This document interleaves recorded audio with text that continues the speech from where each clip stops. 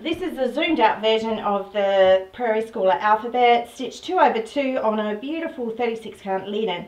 And I have been madly working on this when I can. Life's been a bit disrupted with, mostly with school meetings. My kids are grade 9 and grade 11 and I don't know, I seem to spend a day a week at a meeting in the evenings, which is a lot of my stitching time gone, so I'm not too happy about that. But anyway, that's what happens when you have kids.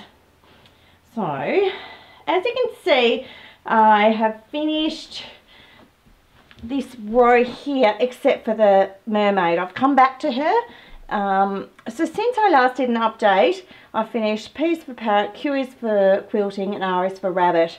The rabbit is probably my favourite block. I'll zoom on that in a moment. So at the moment I'm stitching on this mermaid and as I told you I was just reconfiguring her and I'm happier with the shape of her face and her forehead and so I just have to fill it in and that block will be done. So I'm really happy with this gorgeous parrot. It's so cute. It came up really, really well. And um, I actually really like this little crown in here. It's probably a flower, but it looks like a crown to me. Q is for quilting. It probably is a bit plain for me, but um, some people just seem to love it when they see this piece and think, oh, that's a really stunning block, but it is probably not my favourite. And then I've been stitching Oh, it's for rabbit. I love, love, love this turnip. But it's so cute. So that's working out really, really well. I'm hoping life quietens down a bit and I can get back onto stitching it um, more consistently in the evenings. Over the last two weeks it's been completely disrupted and I've barely worked on this at all which has been annoying me because I really like to have it finished by the end of the year. I'm probably wishing too much but anyway we'll see how it goes. No pressure.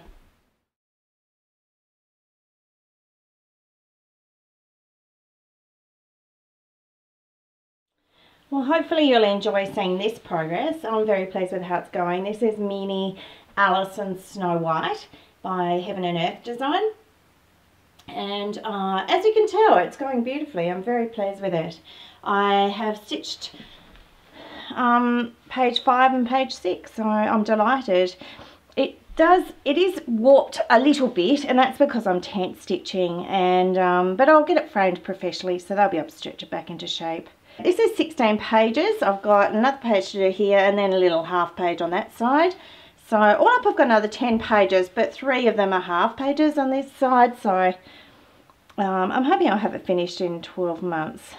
I'll try and work on it in the afternoons. This is stitch 2 over 1 tent stitching. Uh, it's a Magic Guide Even Weave, which is a 25 count. And I love stitching on that fabric. The holes are really easy to see and I think that's fabulous. I've made a friend out of it which is awesome who's also stitching it and she funnily enough lives in my city. Hi Sarah if you're watching this. It's lovely we live so close to each other. We can support each other with our progress. Hoping to get a bit more of it done today.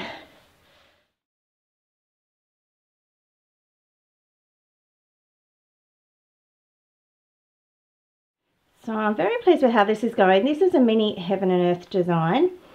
It's Treasure Hunt Bookshelf, Fox to Dragon, and this is the top left corner of the pattern. And you can see it's beautiful moon. Um, and this, this is the book. This is the edge of a book.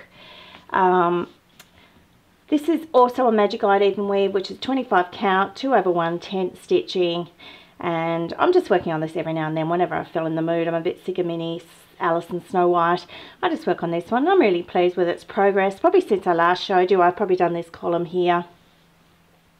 Um, and so that's lots of fun.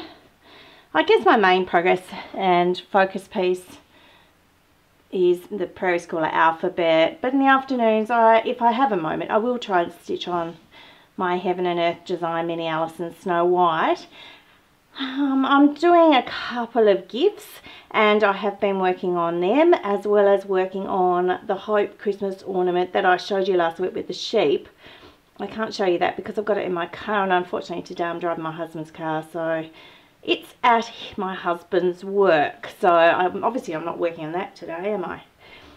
Um, so overall I'm still loving my stitching and trying to get as much done as I can in a day in the evenings or late afternoon if I have an opportunity and I'm still totally obsessed about it and always planning my new or next project. So here is a little freebie design I've been stitching on recently. I did start it in the Ultimate Crazy January Challenge where you started a new stitch every day and this was one of them and it's a freebie design from, from Martina Rosenberg the Chatelaine woman and posted on her original website. I'm not sure if it's still there. I haven't looked at her new website, but it's really sweet, isn't it? And so I hope to progress a bit more on it and um, try and get it finished by the end of the year. We'll see how we go. So I bought some new stash. I've decided I'd like to do some more Christmas ornaments and make some Christmas gifts for people. So let me show you my new stash. So this is a little train ornament. My five-year-old absolutely adores trains and I haven't, haven't made him a Christmas tree ornament yet. I do like to have them in progress and this is a Mill Hill bead kit.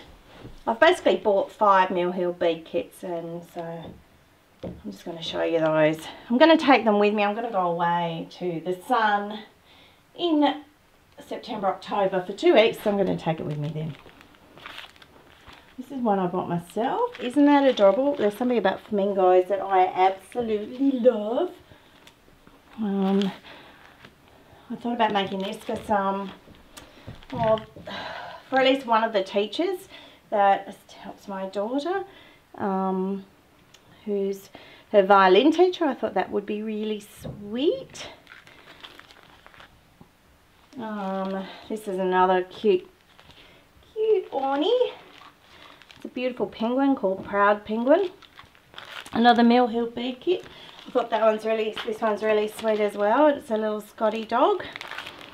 Finally, this is Celtic Santa and I won't actually say who I'm making any of these for because if they haven't watched my video then I've just completely ruined it, haven't I? I just found today on the website Brooks Books Publishing and she's got these gorgeous beaded um, kits so these kits, um, the st you stitch on perforated paper and you cut around them. And then you can add some 3D to them with beads or thread. I've even seen them with other smaller perforated paper pieces attached on surface to give a really good 3D effect. So um, this one's called Scotland Santa. Uh, my daughter does Highland dancing, so I bought it because of the Scottish connection. Well, that's all I have for you today. I hope you have enjoyed seeing my update. Apologise for it being so long. I'll try not to let it get so long between videos next time. Um, I trust everything's going well and that you're having a really great stitching um, month or two. Um, I still love your videos and watch them even if I'm not posting much. But I thank you so much for joining me today. Bye.